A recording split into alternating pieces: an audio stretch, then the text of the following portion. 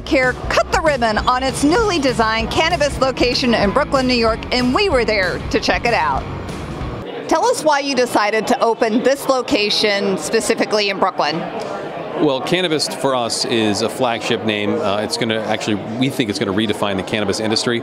And for us, Brooklyn is the cannabis capital of the East Coast and one of the most important cannabis sort of thought leading city, uh, sort of let's call it sub cities in the uh, in the country. This location was already open uh, previously, correct? It was. And so now you've redesigned it, right?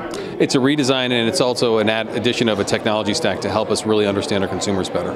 Can you go into that technology stack? Sure. So, uh, cannabis is something either people are very familiar with or not familiar at all.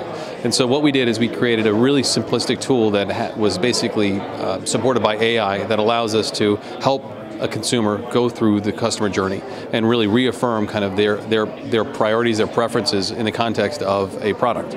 Um, so it really is a really imp- important informational tool that allows us to understand who it is we serve more effectively, but also develop the right products and make sure we have the right products on our shelves. This has a feel of like a traditional retail brick and mortar experience. It's definitely uh, very inviting, very warm. Is this in preparation for adult use sales in New York? Was that some of the thought behind the redesign? Well, we're experiencing adult use sales throughout the country, um, and so this is part of a broader rebrand to make sure that we have relevance for adult use and for medical. Um, so for us, we're still a medical operator in New York State. Uh, the adult use program has been approved and is, is coming. Um, I think that getting out ahead of that was something we thought about, uh, but it's really part of a broader national strategy to make sure that we were able to be inviting to the largest, sort of, the, the, the broadest group of consumers out there. If people aren't familiar with Brooklyn, uh, you're right across the street from municipal buildings. Is that kind of uh, ironic in a sense? It is ironic, um, and it, it, was intentional, but this is one of the epicenters of Brooklyn. Um, so the foot traffic, the access to public transportation, uh, the access to people's works and people people's homes, um, that to us was really important to make sure that convenience was something that didn't become an impediment to access. Uh, but it is ironic that the, the courts are right across the street, and uh, there's a, probably a fairly sizable uh, law enforcement community right across the street, and we hope to serve them too. So, walk me through your thought process behind the design choices you made. I see a lot of really navy blue and green. What in the green wall there um, when you first came in? What, what were some of the thoughts behind this design? Sure. So we knew we wanted to do blue as sort of an homage to Columbia Care. Columbia Care had a very distinctive sort of cyan blue. We knew we didn't want to do that blue, so we went with sort of a darker, I think, a, a more elegant sort of execution on the blue. But we wanted the space to feel very inviting. We wanted to bring some warmth into it.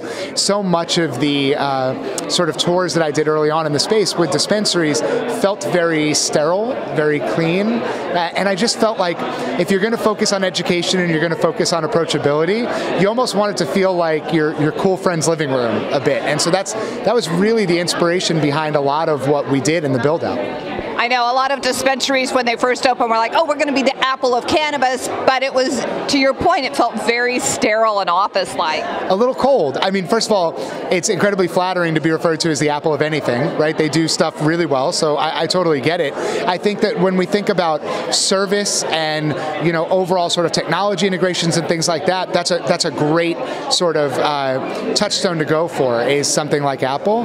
But I think when, when you were thinking about somewhere where people would want to come and congregate and learn more, where you could do product demonstrations, where you could just sit and have a conversation with someone, we, we felt like this aesthetic was just a little bit more comfortable dispensary experiences, especially as a first time, can be very intimidating, like almost on the borderline of embarrassing, right? Like if you've if you've never shopped before, you kind of go through a line and then you end up at a point of sale and it's an expert looking at you going, What do you want? Right? And so you just sort of default to whatever the, the guy next to you is ordering or, you know, what you used to smoke in college. And that, that's not good, right? Like we, we wanted to create something where you felt very comfortable interacting with the technology, interacting with the associates who are floating on the floor, so that you can ask more questions. You know, the best way to create loyal customers in this industry for the future is to help them find the right products and forms that are going to integrate into their lifestyle that they want to keep coming back for. And I think that as a as a multi-state operator, as an MSO in the space,